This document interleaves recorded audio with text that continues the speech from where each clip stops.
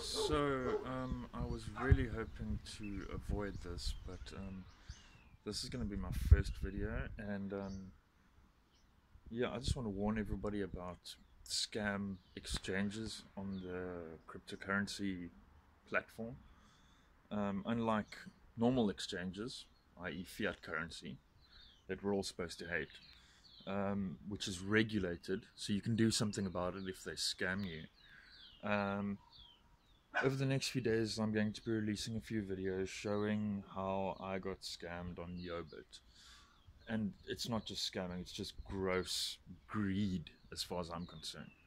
Um, yeah, um, so to the point of, I mean, I wake up every day and my balances are different. I mean, come on, come on. But um, yeah, the point of these videos is to make sure that you don't get scammed. Um, so yeah, please stay away from Yobit.